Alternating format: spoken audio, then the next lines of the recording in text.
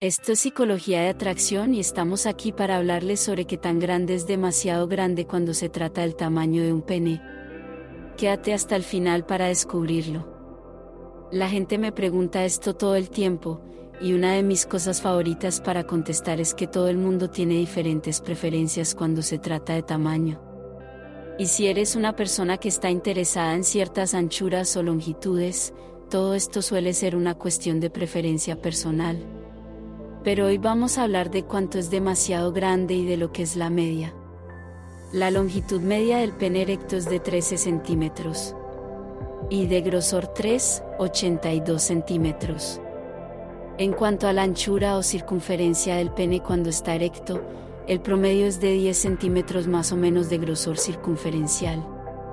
Así que un condón promedio es de alrededor de ese tamaño. Los preservativos tienen una anchura diferente, a veces una longitud diferente, pero no siempre diferentes anchuras y a veces es la anchura lo que realmente causa molestias a los hombres cuando se lo ponen en el pene. Pero ¿cómo de grande es demasiado grande?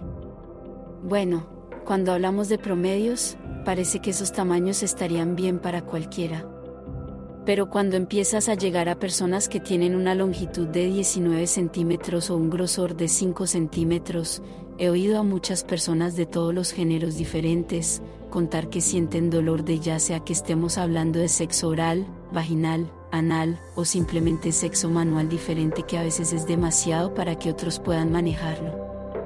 ¿Qué opinas? ¿Es demasiado? Si estás en las longitudes de 19 centímetros o en el grosor de 5 centímetros o más en circunferencia, es probablemente cuando las chicas vean eso dirán, esto podría ser demasiado grande para mí. A pesar de que en el porno vemos penes como estos todo el tiempo, eso no significa necesariamente que eso es en realidad lo que se prefiere. El porno está hecho para entretenernos. Eso no significa que sea lo que la gente está buscando. Por otro lado, sí que es cierto hay muchas chicas, que tienen capacidad de soportar este tipo de penes más grandes que la media y prefieren mucho más estos tamaños a los de talla normal.